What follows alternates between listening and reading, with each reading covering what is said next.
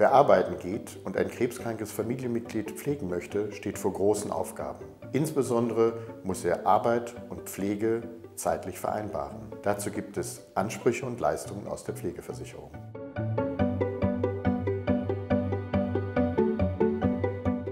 Bei einer unerwarteten Pflegesituation in der Familie können sich Berufstätige für zehn Tage von der Arbeit befreien lassen. In dieser Zeit können sie die Pflege für den Angehörigen organisieren. Anspruch auf Gehalt für diese Zeit hat man aber nicht.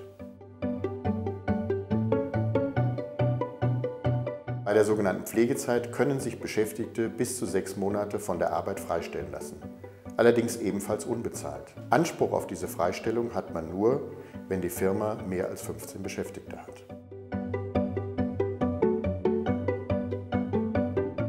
Bei der sogenannten Familienpflegezeit können Angehörige bis zu zwei Jahre gepflegt werden. Dafür wird man nicht komplett freigestellt, sondern reduziert seine Arbeitszeit. Dementsprechend hat man in dieser Zeit auch nur ein reduziertes Gehalt. Es wird ein Stück weit vom Staat aufgestockt, muss nach der Pflegezeit allerdings zurückgezahlt werden.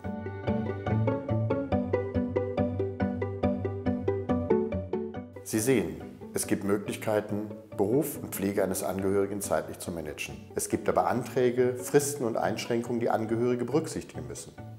Wir empfehlen deshalb, sich gut zu informieren. Zum Beispiel bei den Beratungsstellen unserer Landeskrebsgesellschaft.